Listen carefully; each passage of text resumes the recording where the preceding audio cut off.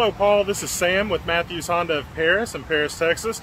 I uh, received your online inquiry on the 2017 Nissan Titan XD through Auto Trader.